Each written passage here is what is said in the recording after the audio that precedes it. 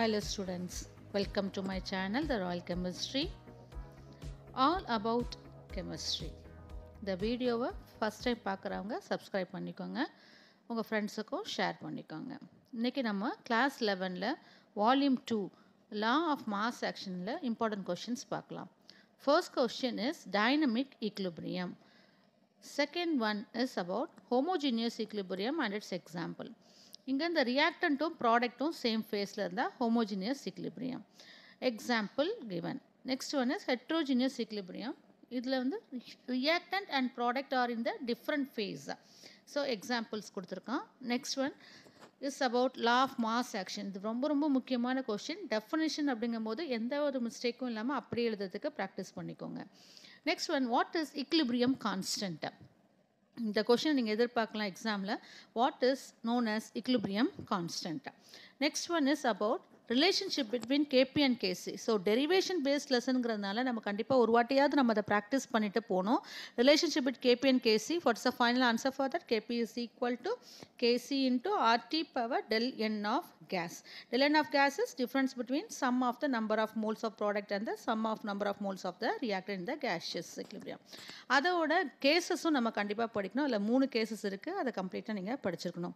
ரொம்ப முக்கியமான கொஷின் அப்படின்னு சொன்னால் இந்த ஹெட்ரோஜினியஸ் ஈக்லிபிரியம் எக்ஸாம்பிள் தான் ரொம்ப ரொம்ப முக்கியமானது. So equilibrium constant for the heterogeneous equilibrium next thing is about Q okay இந்த க்யூ ஃபேக்டர் அதுக்கு நம்ம பண்ணி படிச்சே ஆகணும். ரியாக்ஷன் கோஷியண்ட்டாக ஸோ அதுக்கும் கேசிக்கும் உள்ள ரிலேஷன்ஷிப் கண்டிப்பாக படிக்கணும். க்யூ இஸ் ஈக்குவல் டு கேசினா என்ன?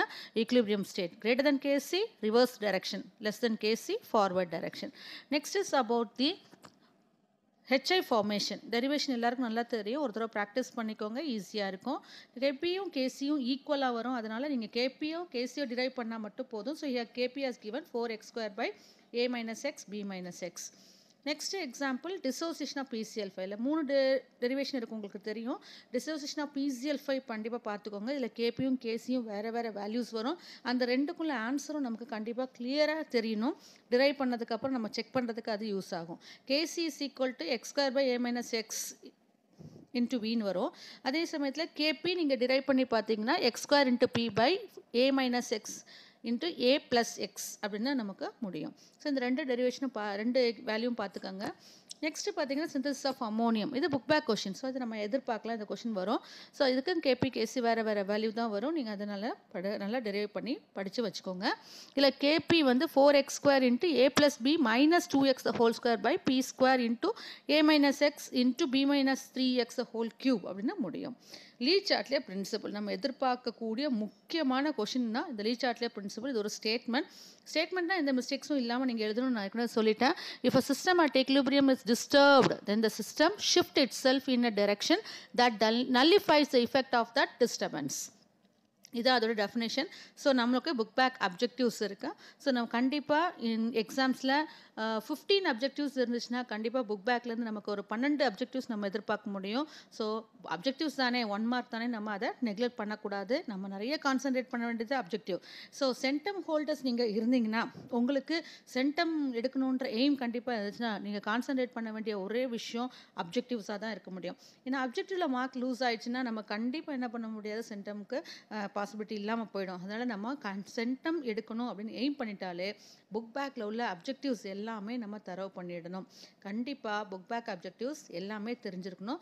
இங்கே இந்த லெசனை பொறுத்த வரைக்கும் புக் பேக்கில் பார்த்தீங்கன்னா உங்களுக்கு அப்ஜெக்டிவ்ஸ் இருக்குது டுவெண்ட்டி ஃபைவ் அப்ஜெக்டிவ்ஸ் இருக்குது ஓகேங்களா ஸோ அதோட ஆன்சர்ஸும் நான் இந்த எண்டில் கொடுத்துருக்கேன். ஸோ வீடியோவை ஸ்கிப் பண்ணாமல் ஃபுல்லாக பாருங்கள் இந்த அப்ஜெக்டிவ் ஆன்சர்ஸை நீங்களே கொஞ்சம் ட்ரை பண்ணுங்கள் ட்ரை பண்ணிவிட்டு நீங்கள் ஃபைனலாக என்ன பண்ணுங்கள் இந்த ஆன்சர்ஸை புக்கை இந்த வீடியோட எண்டில் நீங்கள் போய் செக் பண்ணிக்கோங்க.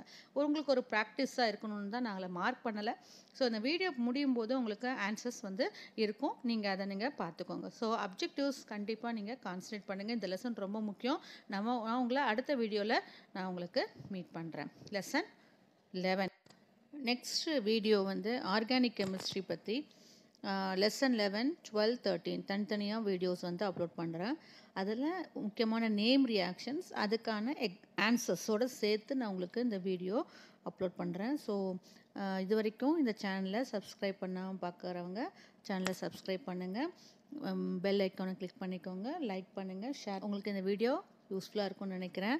ஸோ நீங்கள் என்ன பண்ணுங்கள் வீடியோவை ஃபுல்லாக பார்த்துக்கோங்க. இதில் எல்லாத்தோட அப்ஜெக்டிவ் ஆன்சர்ஸும் நான் கொடுத்துருக்கேன். இனி வர போகிற வீடியோலையும் அந்தந்த லெசனோட அப்ஜெக்டிவ்ஸும் நேம் ரியாக்ஷன்ஸும் நான் உங்களுக்கு கொடுக்குறேன். ஸோ வீடியோ ஸ்கிப் பண்ணாமல் ஃபுல்லாக வாட்ச் பண்ணுங்கள் தேங்க்யூ தேங்க்யூ ஸோ மச்